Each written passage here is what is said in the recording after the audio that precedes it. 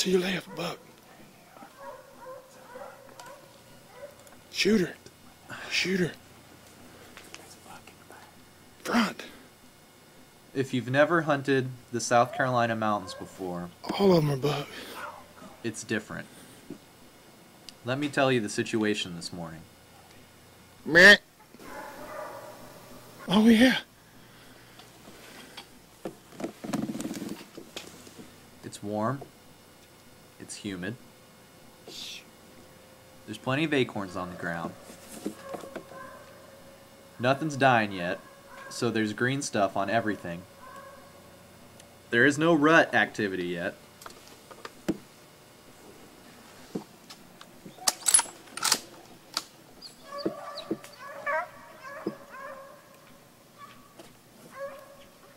You put all that together, it makes for pretty sorry deer hunting. I haven't seen a deer all weekend.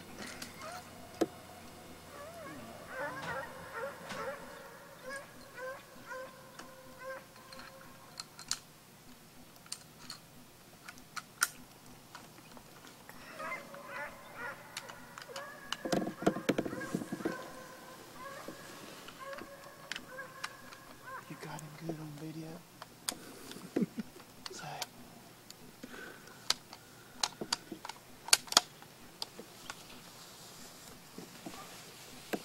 I missed again. We're back in Kansas, Toto. but I have just been removed from the Bella Vista Baptist Church. I'm gonna park right here in the library. Um, I don't know, you guys excited? Yeah. You are. Think we're gonna get some big birds tomorrow? Yeah. Yeah. 55 and going to Dan Ryan South. Welcome to the SOA trip, brought to you by the Capuchin Vocation Office. All right, well, we made it down to South Carolina. Uh, Listen, I'm trying to follow the directions here. uh, are we gonna stop somewhere to close the bat tailgate? Just want to give you a quick update. I'm running on about not even two hours of sleep, so I haven't slept since Denver. Um, hits just keep on coming. Heading out to where I saw that nice buck the other night.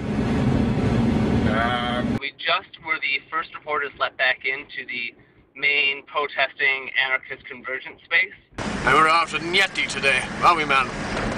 40, 42 incher. Uh, right now we're in uh, somewhere in Georgia. I have no idea. Fort Benning, Georgia? Fort Benning, Georgia. Yeah. walking to the gate. Fort Benning. And uh, we are about to go to the protest. Yeah, very exciting. Yeah. Not allowed to photograph on Yeah. military bases. That's it. Well, no, no, you can go to, you can photograph anywhere on the site, but when we start like photographing down. No.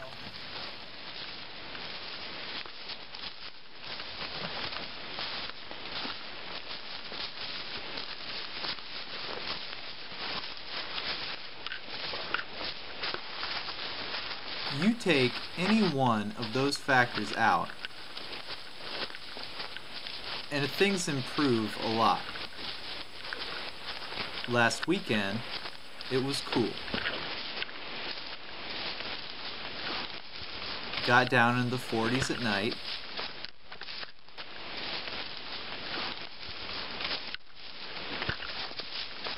Fifties in the morning. That's not cold, but it's not warm. Right now, it's in the mid 70s.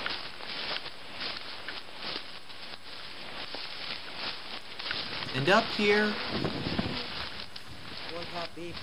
it just doesn't make for good hunting at all. Okay, I, I ordered this shirt myself. I had it made on Cafe Press the second day after the spill happened, actually, because I was so repulsed. But, um, you know, I just gotta say, it was kind of sad because today I wore it to work at the restaurant uh, I work at. I'm part owner of actually, but I still waitress there. And I think I waited on 500 people. And do you know only two mentioned my shirt to me? And one of those was a European guy that wanted to know if the BPs uh, meant British Petroleum. And I was like, yes, it does. And I was just like, you know, it was kind of sad because I wore it on purpose because I wanted people to talk about it. I wanted to have conversations with it about it because we need to change this, right? Even after we get this fixed, God willing, this, this stops it and, and it's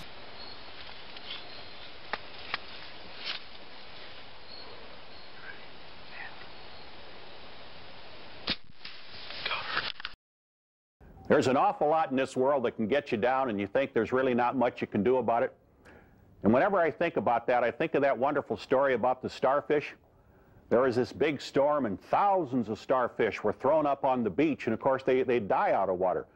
We got three. Three signatures. But we've only been in... out here for five minutes, so Yeah, that's yeah, not bad. That's good. Well done, guys. Keep going. Someone else. I'm gonna be on my. They should go further down so you can stay on.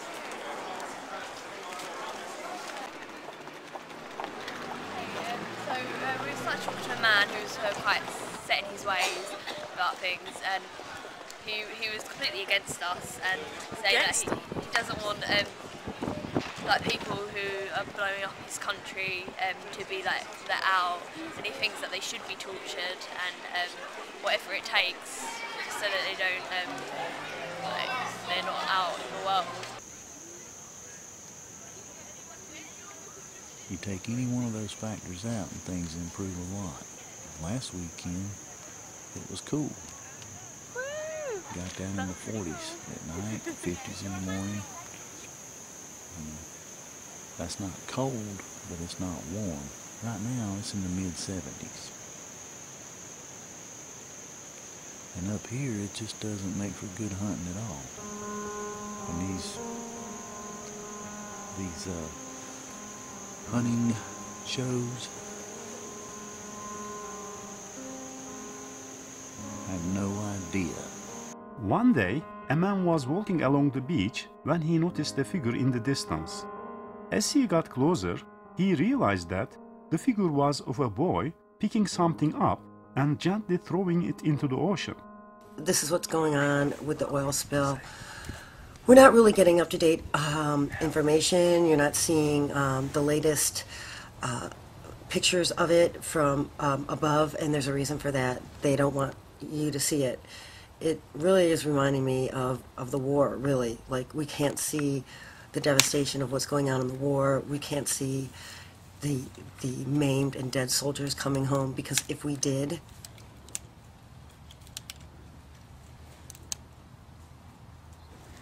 And these hunting shows have no idea what it is like here. I would love to see any one of these celebrity hunters spend a season here in South Carolina on this hunting club just to see how they do. I'm not saying they're bad hunters. Victim number two. What I'm saying is if they spent a season on this hunting club, they would not have a season's worth of footage to show you. It's our first night um, in South Carolina. It's Saturday, September 20th. Happens to be my birthday.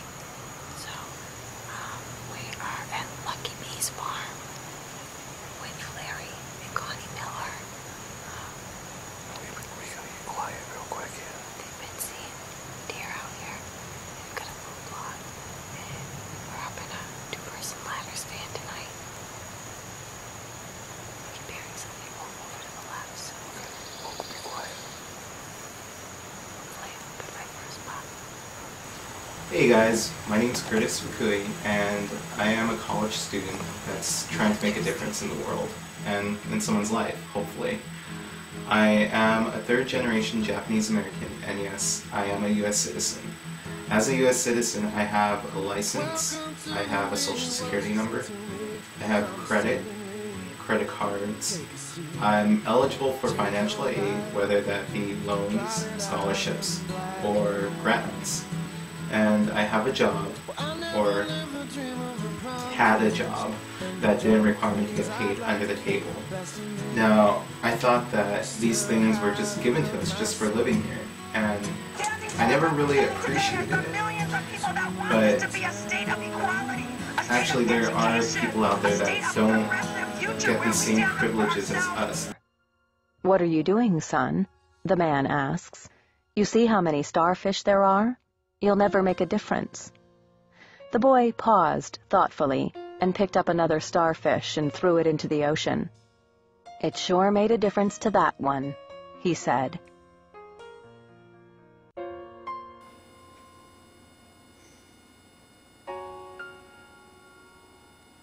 You see what I mean.